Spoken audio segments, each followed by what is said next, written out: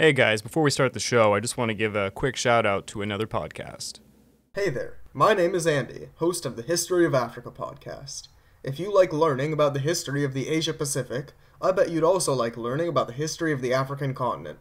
Our current season is focused on ancient Egypt.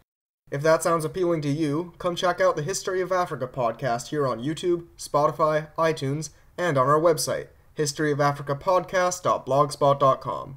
Back to you, Craig. Well, hello there. Welcome back to the Pacific War Channel. The channel will recover the entire history of the Asia Pacific War of 1937 to 1945 and all the major events that led up to it.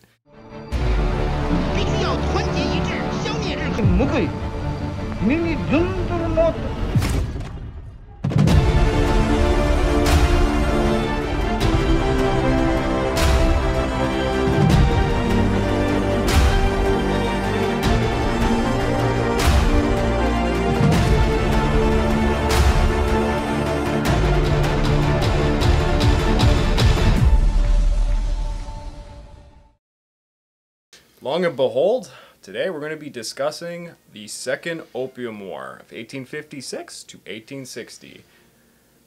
And as usual, I will ask my colleague who has joined us for, I believe, the third time, Mr. Justin, what do you think of the episode? Well, like last time, folks, and I, I stand with you on this. It, it was a long one. They and, are, uh, yeah. It, it, it required a good nap somewhere in between. Uh, was interesting to see that, you know, very much like you said when it came to the Treaty of Versailles, that a lot of the agreements made after the First Opium War are in fact the grievances that caused the Second Opium War, and it's uh, it's quite something to see when. Uh, you know, you'd assume everybody's on board with a treaty, but once the uh, on- once the doors are closed behind them, a lot of shit can go wrong. You know, a big part of the, that problem was the treaty never answered the most important question opium. Uh, that was actually really the root cause of all these issues. And uh, just to clarify, because we definitely need notes on this one, I had. I think I had 40 pages of research written, and only about 20 made it to the episode. But just to get back to the Treaty of Nanking that occurred after the First Opium War was consisting of China paying $21 million to Britain over a three year period, the release of all prisoners. Hong Kong was now Britain's colony, and Britain could have permanent residence at the ports of Canton, Amoy, Fuzhou, Ningbo, and Shanghai. And the end of the Canton system, which was the uh, rigid trading system that they had, where you know foreigners would come in, they'd be treated as barbarians, and they'd be tributaries to the emperor. I like to li- I like to make a comparison because a, lot of historians do this. The Treaty of Nanking has often been compared to the Treaty of Versailles because both technically caused second wars after they were signed. And for those uh, who aren't aware, the Treaty of Versailles was uh, the signing after World War One, in which Germany had to make unbelievably humiliating terms upon themselves. And uh, I mean, I'll just say a few of them. Germany had to hand over about 10% of its territory, and this meant all overseas possessions. Demilitarize itself, only was allowed 100,000 troops, and this meant very few mechan- like they couldn't have any planes, they couldn't have tanks. They actually had to go to the Soviet Union to train secretly. Uh, the occupation of the Rhineland by France, their sworn enemy, and to hand hand over Alsace-Lorraine, which was unbelievably fought over. I mean, it changed hands over three times. The breaking of the Anschluss, meaning Austria had to break off of Germany. Poland was a new country and formed, which cut Germany off from Prussia, which was hilarious. There was also Danzig that was created. The Allies were going to be allowed to do uh, a war criminal trial, which would have implicated Kaiser William II, uh, which didn't occur because he ran away to the Netherlands, and over $33 billion in reparations for war guilt because everybody blamed Germany for World War I, which wasn't fair. And all of this humiliation led a certain person we now know as to be Adolf Hitler to use all the humiliation and terrible stuff that happened to Germany to form a new government and form World War II as we know it. The Treaty of Nanking humiliated China almost identically to this situation, and you know what? Economic turmoil was involved as well, and we got a second Opium War in the end. Yeah. Well, getting into that a little bit, uh, you know, the, the issue, what you said, is that uh, the Treaty of Nanking never really addressed the, the elephant in the room as far as the first Opium War, which was wh- which was the opium trade. But if you go deeper than that, it's again, why was the opium trade necessary? Which was British again lacking funds to pay for tea and other goods that had in China. They didn't have any other goods that they wanted to trade. As you got into the episode in the Second World War, speaking, uh, Britain tried to trade some textiles, but Chinese preferred their own cotton and silks over that. Major So- oversight. and the reality of it is, is that even after the first Opium War, that deficit and that need for English tea never really got satisfied. Now, a lot of people are saying, okay, you know, they received $21 million, and if you go back that many years, it, it does seem like a decent sum of money. No. But when you realize how much the British actually lost when all the opium was seized in the First War, which Yeah. this in turns was somewhat supposed to be reparations for that, It officially was not, but it absolutely was. Yeah. And the other thing, now this I wasn't able to research, but in the first Opium War, weren't many of the British merchants promised reparations once they got paid for that seized opium? Yeah. So you could assume rather than going back to purchasing tea itself, this $21 million all got filtered down into the British merchants that lost their opium and their and their big businesses practices in the first place. So the, the $21 million really is just a drop in the bucket. It, it doesn't solve England's problem whatsoever. They still were very, very low on their reserves of silver. They had very little income coming from other countries other than India a little bit. And it never really solved the root problem. so add that on top of China's humiliation, and you're really brewing into a second conflict.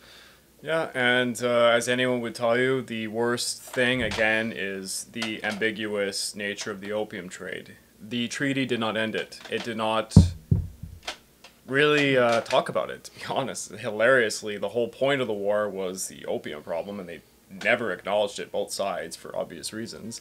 But as a result, um, as soon as the first opium war was open, opium doubled up on Britain. I had a chart here. I don't know, maybe I can edit it into the episode, but it just shows you. In 1835, we're seeing about 1,390 chests or tons of opium. After 1839, this goes to about 2.5 thousand, and then 1863, we're at about 4.2, and then it goes on to almost about 7,000 by the 1880s. It just kept getting more and more and more.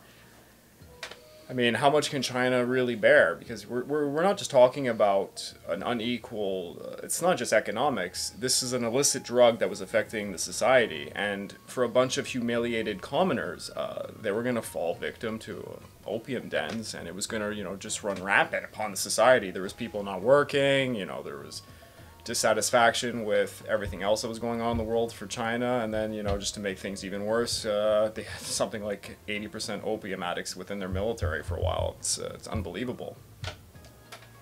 And uh, it goes without saying that opium was coming into China, and silver was going out, as we saw with the first opium war. Yeah.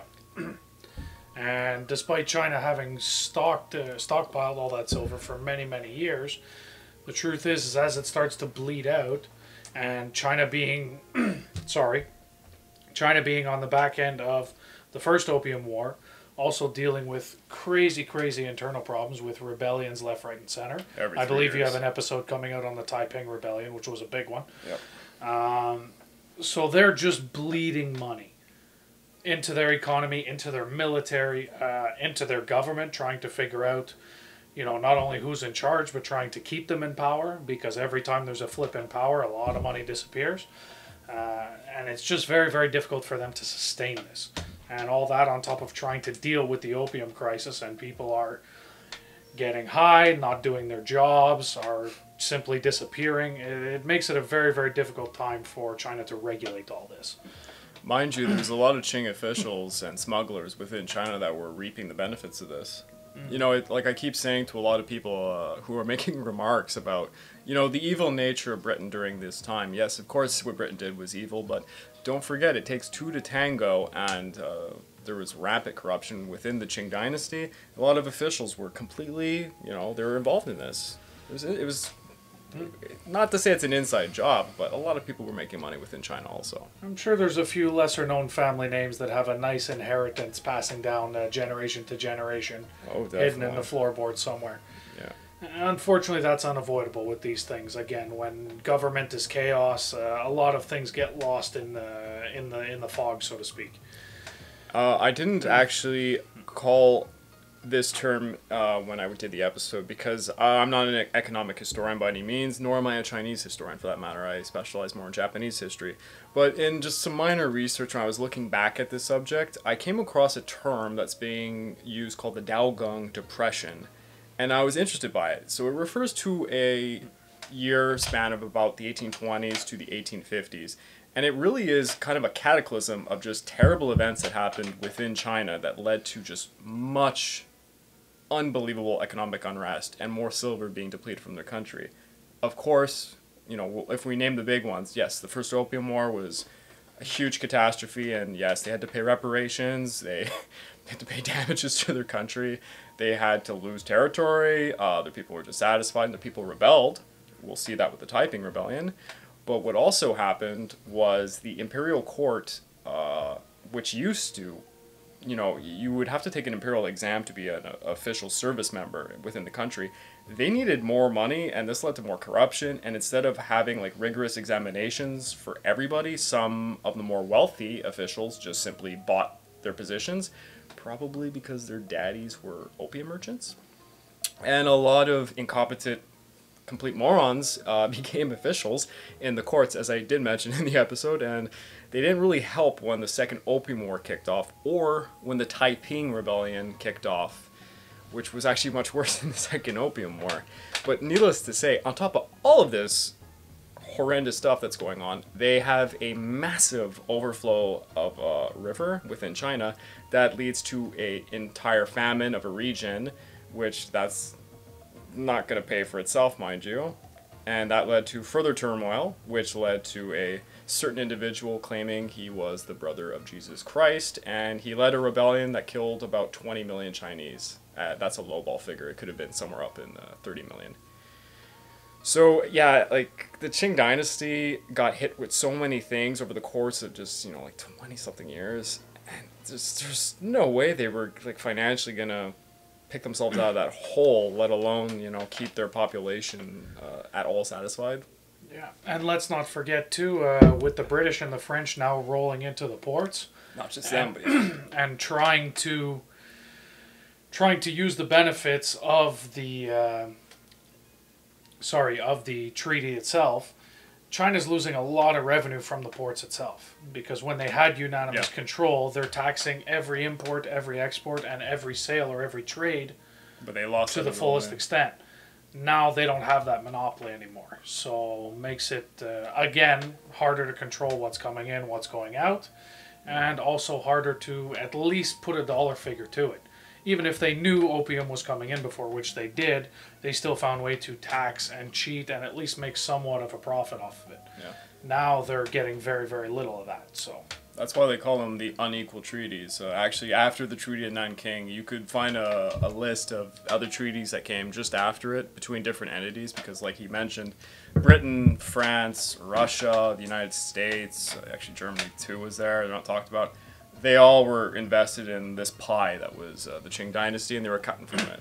And all these treaties were completely not for the, the poor Chinese. And uh, it actually, they. Um, it's colloquially known in China as the Hundred Years of Humiliation, I believe it's called. And it starts after the First Opium War, and it just gets worse and worse. Uh, goes on to the Boxer Rebellion, etc. And uh, I only touched about I only touched upon this like a little bit, but uh, the coolie trade uh, kind of was vigorated by this whole situation. The British kicked that off, and uh, I didn't get to really say much about it except for you know the humorous. Um, humorous. It's a little dark, but uh, the term being Shanghaied actually referred to Chinese people being drugged up and thrown on boats to do slave labor in other countries. And I looked into this just a little bit more because I was curious myself. And I found out that when Britain was starting this uh, pig trade, as it was known, or the poison trade, Uh, over 200 Chinese initially were brought to Trinidad in 1806. So this happened way before the first Opium Wars. And they worked there probably till their deaths. Britain ended up uh, abolishing slavery in 1838, but over 25,000 East Indians ended up in British East African colonies such as Mauritius and oh my god, it's just it's horrifying. Over 250 to 500,000 Chinese coolies were imported from 1847 to 1874 to various colonies not just within the British Empire but within French, Dutch and Spanish colonies all across the Americas, Africa and Asia. I mean, as Canadians, you know, we we know this the stories of the railroad work within our country, and it occurred in the United States, and this is part of uh, this ugly time. Uh, my God, talk about it. I mean, in Canadian history, we had the Chinese head tax, where uh, we brought over these poor coolie workers to work on the railroads, and then we didn't allow their families to come with them because we didn't actually want them to be part of society. We wanted them to work for cheap and get out. Uh, it's an ugly past that Canada definitely needs to recognize. But uh, it kind of started with the British, and the Opium Wars was a real kickoff for this ugly system. Yeah. Yeah, well, one of the things that's seldom talked about in economics because it is a very dark part of history, but is very, very relevant in both past, present, whenever economics, is the trade of flesh, the trade of people. Obviously outlawed now, and it's a horrible, horrible thing, but in many times and many cultures, it's sort of what made the economy go around. Because when you trade for flesh, you're not just getting an apple or a material good. You're getting something that you could potentially have growth out of. You're getting labor.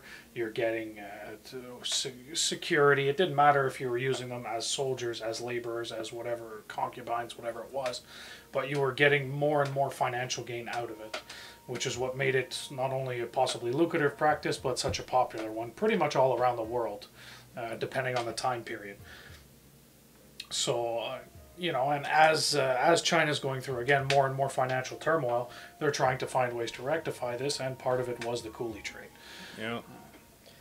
And uh, honestly, it's usually the highlight when anyone, when anyone talks about the Second Opium War, if they ever even acknowledge it. It's not uh, as well known as the First Opium War. It's sometimes not even called that. It's called just the uh, the Arrow War because that technically was the official term for it. Uh, the I mean, other than the outcome and the opium trade, one of the biggest things that occurred in the Second Opium War, which I did talk extensively about in the end of the episode, was the burning and looting of the old Summer Palace.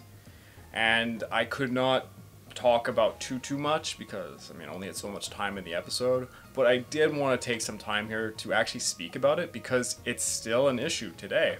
I found a lot of surprising information on it.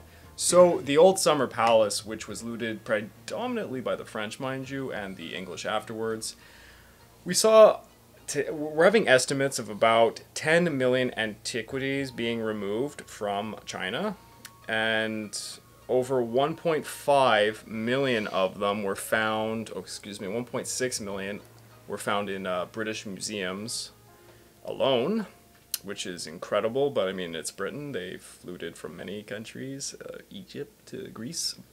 But uh, I was trying to get figures on how much exactly was stolen. On you know, for the life of me, I can't get a real estimate, and I honestly think that's because it's just such an incredible number, and it's hard to place a value on centuries of historical items as such. It, it's if you read about what was in this place, it's, it's just incredible what was stolen. Uh, just to look at it, I wanted to find some estimates. Uh, here, it, it was mentioned in a primary source that 300 carriages were used by the French to bring the loot away after three days of looting. And that alone says a lot because, I mean, this was jewels, gold, a lot of silver objects, uh, jade, of course. But uh, I was looking for a more recent problem, and I found that in 2018, something called the Tiger Ying, which was an archaic bronze water vessel, was taken by British soldiers at the time, and it sold recent oh in 2018 for 410,000 no four yeah 410,000 pounds 410,000 British pounds. pounds. And it was stolen. Oh, they have the name of the soldier. It was Royal Marine Captain Henry Harry Lewis Evans, and this item was one of seven vessels known in existence, five of which are in museums. And China's cultural cultural heritage department is still providing lawsuits to get any of these items back because they're all over the world, mostly in Britain and French museums, mind you. But yeah, um, we're talking unspeakable amount of money worth of items like it- Hundreds of millions of dollars by today's standards, for sure, if not more. Yeah, it's uh, it's been linked to the burning of the uh, Library of Alexandria as kind of uh, a loss of history because there was something like a hundred thousand uh, ancient literature books that were burnt also in the palace. Um, it's it's a huge tragedy for the fucking for the world. Excuse me. Should've sworn this. So, getting into what we call the Chinese humiliation, or unfortunately, or the hundred years of humiliation, let's talk a little bit about uh, the actual battles that went down and those blessed Chinese cannons that we've discussed so many times in uh, in other episodes. You know, the only thing I'd say about the difference between the you know the two wars is China got to fight back a little bit harder this time. Uh, we see that the Dagu forts, uh, the British and French got bogged down in the mud, and you know under the leadership of a Mongolian prince, uh, the Chinese were able to win and you know kill some of the invaders. Mind you, uh, they just came back and destroyed them right after. Uh, there was a horrible instance that I mentioned in the episode where a French general, I think it was Montauban, he used Chinese coolies. Uh, he sent them to go into the moats with ladders on their backs, and then the soldiers just climbed over them to get into the Dagu forts. And uh, one of the British, I think it was General Hope Grant, he was so embarrassed by the situation, he felt so bad that he gave them a, a monthly bonus of their salary, but that that probably wasn't that much to be When your honest. salary isn't much, uh, Yeah. a monthly bonus doesn't do you a whole lot. But But uh, you know, it's it's almost embarrassing to try and, and talk about this. You know, particularly when all your your sources are, are British or French. You know, they embellish the truth a little bit and they make it seem like it was a little easier than it should have been. But uh, the difference in technology was even worse in the second opium war than the and then the first. Uh, the Armstrong field gun was in play, and it's like uh, Mike Tyson fighting an infant. You know. they uh, they massacred uh, the Qing Dynasty forces. Uh, a lot of Aboriginal Chinese communities also suffered because they were thrown in as vanguards and uh, they were using traditional weapons like uh, spears and swords, and uh, they were fighting Armstrong field guns. So you can imagine it was pretty horrifying. Yeah. Now, in terms of you know kicking off a lot of these raids on the forts, uh, seemed to be a bit of a miscommunication between Lord Elgin and his brother, who were on completely different wavelengths when it came to. Uh, okay, so the treaty is signed by everybody except the one signature that matters. Yeah, um, the primary source, I'm talking about something that was written then, actually called his brother a moron. That that says enough. yeah, yeah, his brother was an idiot, and I mean to be brothers to uh, Lord Elgin, who's kind of a, a renowned person, and uh, we're, we're from Canada. Lord Elgin was the best, arguably, yeah, he's probably the arguably the best governor our country had. He was the guy to actually bring responsible government to Canada before we were a, a real country and he um, kind of helped with uh, the French English situation. Mind you, if you're French, you don't think he helped much. He, uh, he kind of quelled the French resentment to being conquered. Yeah. Yeah. But by today's standards, too, in terms of being a Canadian, I'd say he's probably the most recognizable figure from all these conflicts, with the exception of maybe an emperor. But uh, you, there's a hotel in Montreal, Lord Elgin's hotel, and there's a, a monument to him there. yeah, it's uh, you know he he really did make it kind of all around the world, so to speak, and Yeah. had his impact a little bit everywhere. But you know, to see that his brother's on his way back to China, ready to start a fight, expecting this treaty to be signed, and then realizing it's actually not, which is yeah. And then to replace your brother because he was so incompetent. it's pretty funny. Um, I didn't make a note of this, but um, at this t- at this time period, Lord Elgin is kind of seen as a little bit heroic in that he he tried to stop some of the looting occurring at the Summer Palace, and he frowned upon a lot of what was going on because he was seen as kind of a um, an honorable man. I, I would like to take a note that after this incident, he is notoriously known um, for stealing some ancient Greek sculptures, uh, and it's colloquially known as Elgin's marbles. It's a situation in which he went to Greece. He was an ambassador for the Ottoman Empire, I believe, and he just took these like priceless statues, brought them to his own estate in Britain, and they ended up in a museum. And Greece has to this day tried to fight to get them back from, I believe, the current Lord of Elgin, because there is still one to this day. And uh, yeah, it's a point of contention, but Britain stole a lot of stuff from people and put it in museums. yep, poor, poor people of the world who had to live under the tyranny of the British Empire. Yeah. But I'm trying to figure out exactly how you could have a treaty set forth and a country would assume that it's in play when again it, it doesn't have the blessing of the emperor. Was it is there any sign that it was maybe just embellished and that Elgin's brother oh. said it's been signed or did they just assume and walk in like idiots? No, it was classic Chinese uh, maneuver. The Chinese love to just kind. Well, sorry, it sounds bizarre to say that, but uh, back in this time, the uh, the way that negotiators would work in the Qing Dynasty, or even in ancient China, apparently, they would try to prolong negotiation, allow things to go off, let things be forgotten, never make yes or no answers because they were always trying to just play with it Okay. so that they could get a better outcome and they never wanted to you know officially put their stamp on anything. So what they usually would do is if someone came over they go oh yes we're going to get the emperor to sign this but then they don't. And if the emperor doesn't sign it it's not an official treaty signing. So they don't actually have to abide by it but to the person they're dealing with or the country they'll you know kind of keep this shadowy oh yes yes yes everything's fine and that's what they were trying to do yet again. And um, I even said in the episode, Lord Elgin, he actually educated himself on how the Chinese did dealt with negotiations and immediately realized this. So whenever he came aboard or was trying to talk to someone, he immediately threatened them. He said, "Okay, you have two days. We're gonna go to war." That's how he dealt with it, and it actually was the only way to, to deal with it. Well, it would seem that that stall tactic has been used quite a bit and would almost be, in a sense, maybe waiting for them to get a little bit in a bad position because you have to remember the British and the French are the ones invading. And they didn't have that many people.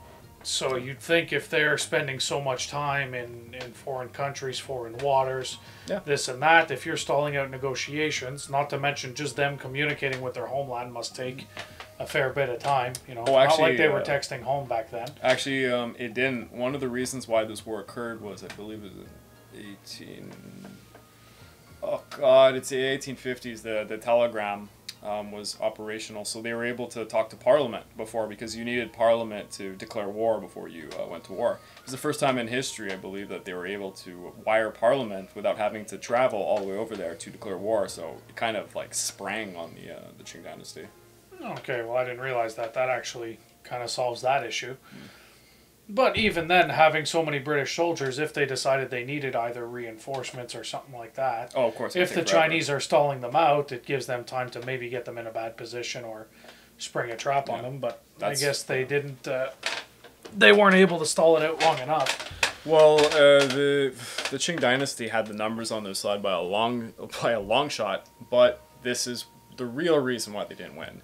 The Taiping Rebellion was happening, and the majority of the Qing dynasty's forces were busy with uh, a faction of China that was winning against them. The Taiping Rebellion was very successful until they captured Nanking, upon which their leaders kind of settled and stopped. They could have at any point taken uh, the capital in, in Peking, but they didn't. They only sent a little piecemeal army, and it wasn't at all capable of uh, just taking down the emperor. If they did, and they could have uh, attacked Peking, they would have taken the throne for themselves, and then the British and French would be dealing with a much more awkward situation because the Taipings would have. I mean, they were against opium use. They actually were, and they, you weren't allowed to use opium within the ranks. So that would have been uh, not, not a great situation. And it goes without saying that. Uh, I mean, I, I think I say it in this episode. The British and the French, immediately realizing what the Taipings were like and not wanting to deal with them, they eventually allied themselves to the Qing dynasty immediately after this war is done. They gave their services up to fight the Taipings. So, yeah. Yeah, it would be something to go in there. But after beating the the dynasty down and realizing that they're facing the Taiping rebellion, you, you'd almost think they allied to them sort of in an advantageous way to themselves because they had no choice either. Yeah, of course, they sold them weapons immediately. Uh, the famous Mongolian prince uh, he immediately asked for help. He wanted to uh, have Armstrong field guns or other artillery to be able to fight off the Taipings, and I don't know if they ended up giving him anything. I think he got a few pieces, but uh, needless to say, they, they did defeat the Taipings, and it was large. Okay, I won't say largely because of uh, the Western support, but uh, the Shanghai region was protected by Western forces uh, after 1860 because they opened the port after winning the Second Opium War, and this was where they were selling their opium. So when the Taipings came in, who believed the Westerners would be part of their cause, coming to you know ally themselves to them, they just shot all the Taipings and basically announced that they were going to fight for the Qing dynasty. And yeah, it'll be talked about in my other episode in, in depth. It's uh, it's actually uh, it's a lot more battle heavy than this episode, to be honest. And getting back, I had a question for you about the Mongolians because you did mention this in your episode. You mentioned something about uh, Elgin's brother making accusations against Russia, saying he saw uh, men in fur hats and coats. Did he mistake the Mongolians for the Russians? Uh, it was probably propaganda, and he was trying to target the Russians because while all of this is going on, we're talking about the British and the French. Technically, the two other actors were the United States of America and Russia. Now, the United States of America was part of the war for a, a small part when there was shelling of Canton, uh, but the Qing dynasty in America reached an agreement and there was a neutrality pact that was signed, which did not stop. And I have notes here on this. I wanted to talk about one instance. America broke its neutrality pact when a Commodore, Josiah Tatnall, famously made a remark when the British were fleeing from a naval battle. He said, Blood is thicker than water, and he provided cover fire, which was illegal because they had a neutrality pact. Uh, there was other instances of Americans being involved in the Second Opium War, but it's like, I mean, uh, it's it's not as if they had full engagement. They had a, a few ships and they were kind of shelling places. I mean, they shouldn't have, but anyways. As for Russia, Russia was devious as hell during all of this. So the entire time this war is going on with the Taipings and the Second Opium War, there's a Russian ambassador within Peking, uh, directly talking to them. And basically, Russia had a bunch of territorial goals. They wanted to broker a, a deal. Eventually, it became a treaty. I believe it's called the Treaty of Aigun. I had it written here somewhere. But anyways, they wanted uh, a lot of Manchuria, and uh, they basically wanted a pathway to the ocean from that area where Manchuria is. And they were looking at the situation, and they knew that the Qing dynasty was against the ropes. So conveniently, when the British and French were outside of Peking and they were shelling this, were going to shell the city, the Russian ambassador at the time, and I do have his name, it's impossible to pronounce, Ignatiev. He was talking to Prince Gong, who was put in charge last minute, and Prince Gong begged the Russians to intervene to help them because they didn't want Peking to be destroyed, and he laid out five conditions to help. The five conditions were what I said. It was ter- it was different territories, but more or less, just think of Manchuria, and better yet, uh, Vladio, uh, Vladio, what's the name of the port? Vladivostok. Vladivostok is what ends up being taken through this treaty that he forms with Prince Gong. So what he did was he said he would negotiate on behalf of the Emperor of China and try to make sure that all the allied forces of British and French, once they've nego- negotiated, to just walk away peacefully, which he did. And then as soon as that happened, he kind of like threw some more stuff on his own treaty. So Russia had this separate treaty that was going on that was it was a sneaky little land grab. And uh, it actually ends up being a huge problem for the Pacific War because uh, Russia and uh, Russia and Japan basically fought over Manchuria later. And uh, yeah, no, Russia played their cards right because they never had a single military engagement during all this, but they gained a ton of stuff, rich lands, granaries in uh, Manchuria and all that. Yeah, So if you had all that uh, on top of that, uh, China losing Hong Kong, seemed to be uh, seemed to be quite the land loss for them. Oh, they're gonna lose more land in the future. They'll lose uh, what is the present day Taiwan to the Japanese. They'll lose uh, actually more islands than that. Hong Kong will remain in British hands technically till 1990s, if you think about it. I mean, it's a that's a contention. You know, it's, it's an issue today still. Uh, Shanghai was split like a pie. Uh, Germany will come into the picture, and everyone's gonna have their area of Shanghai. It's called like an international zone, and uh, that it's a whole thing in the Pacific War of itself. But uh, China goes through a period rightfully called the Hundred Years of Humiliation, and it kind of started with the it started with the first Opium War. The second Opium War made it really bad. The Taiping Rebellion really, really made it bad. In the coffin. There's going to be a lot more coming up. And uh, kind of just wanted to finish off because I noticed in these little notes, I, I tried to find figures on the looting of the Summer Palace. And based off of the auction that occurred after the French had looted everything, that's a whole other issue. But the British auctioned off everything that they could when they took it together.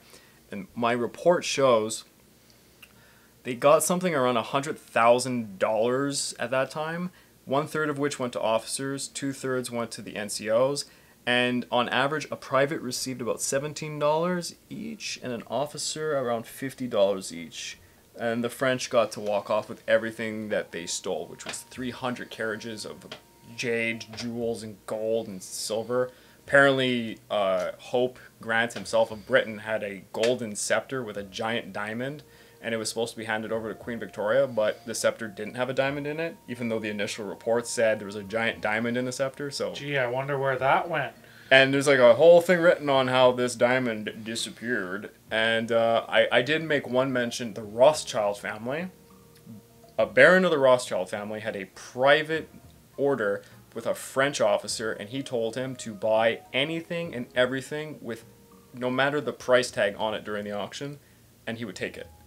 So I found that to be quite an eye opener that Rothschild was involved in this. But uh, yeah. Well, like we said before, families who had money took advantage. Yeah, we're talking about centuries of looted goods that weren't, you know, necessarily Chinese. These were from Korea, Japan, any anyone who was tributary to them, like uh, Persia probably had some stuff. Even the Byzantine probably had given them something back in the day. There's all sorts of interesting goodies to steal, and you can see them probably today in any museums within Britain, mostly. I bet you in Canada, even we have something. I, I wouldn't know for the life of me because I'm not a scholar for this, but uh, yeah, no, museums are a dirty business. Yeah. Well, let's just say a lot of museums are definitely housing old, dirty goods. But Technically looted human parts too, if you think about it. Yeah, there's bodies. That's it's a corpse of somebody. Someone had family back then. if you think about it that way. yeah, I had a teacher who used to remark about anything that came from the Pacific War, so uh, Japanese items. It, it got really gross. Like there was instances with which people's personal belongings were stolen and put in museums like 15 10 years after the events that that's like a guy's picture of his family and it was put in a museum and the guy very well has family members that could have been alive at the time so a lot of gross stuff happens yeah, in history i could go on forever about museums it's, uh, they're great for learning but not great for looting yeah, not like today where everything's donated or given or on loan to them exactly. Oh, there's so many regulations now. It's crazy. But uh, yeah. That's Yeah. been an interesting rant today. I, I hope this is breaking kind of the rigid, you know, it's like a rigid nature. We're, we're developing this this discussion thing as we go along.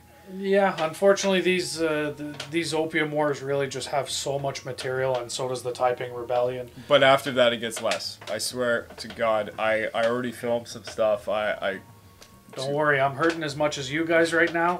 the Taiping Rebellion episode that'll be coming out after this, uh, which is available on Podbean already as an audio format, is as long as this one. But after that is going to be the opening of Japan, which is uh, 25 minutes, I, I think, gathering from how I filmed it.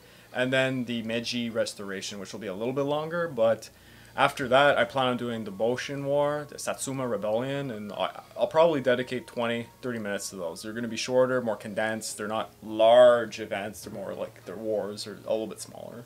So things will get shifty. I mean, I, I don't want to make every episode like a documentary like these, but uh, yeah. Yeah, it's a lot to take in, but the reality is is that the, the these conflicts just have so many factors going into them, so many names being thrown around, so many different countries, so many different levels of society getting mixed into it that it is very very hard to cover everything. Um, Uh, no, you know, I, I'd still say if anybody has questions or comments about it, feel free to put it in there, and uh, Craig can always try to answer, or we both can try to research uh, our best to figure out. Uh, Yeah, just let the audience know. I've had quite a few vocal members who've asked a lot of questions. Uh, shout out to Three Edge Sword. You have been awesome to talk to. And um, I did a live stream not too long ago where I was playing a game with some friends, Axis and Allies. And he asked a lot of questions, particularly about the, uh, the Second Opium War and stuff.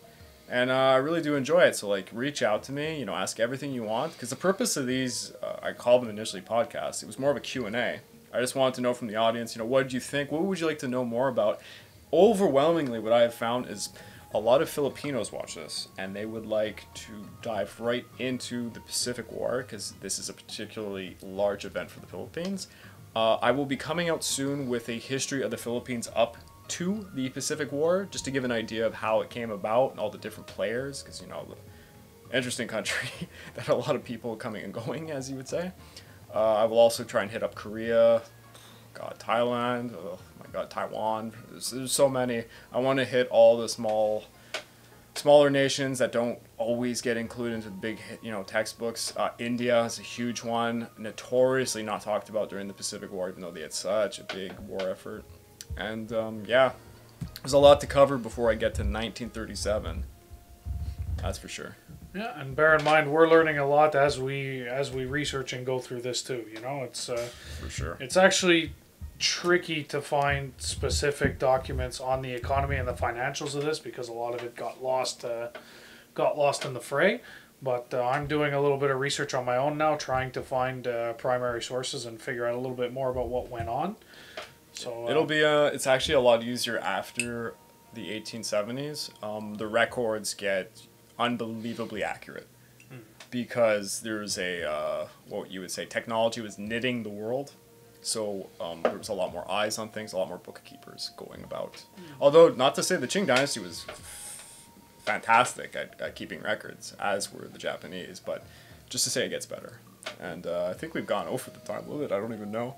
yeah. But uh, if you have more questions, you know, just throw them in the comments here or any of the episodes. I think I've been pretty good with getting back to people. And I mean, I've had some paragraphs of uh, questions for some of these episodes. Let me know what you want to see in the future. Please leave a like and subscribe. We're a small YouTube channel, and I'm definitely not making many pennies off this. And uh, I hope to see you soon. Pacific War Channel, over and out. Thank you very much, guys.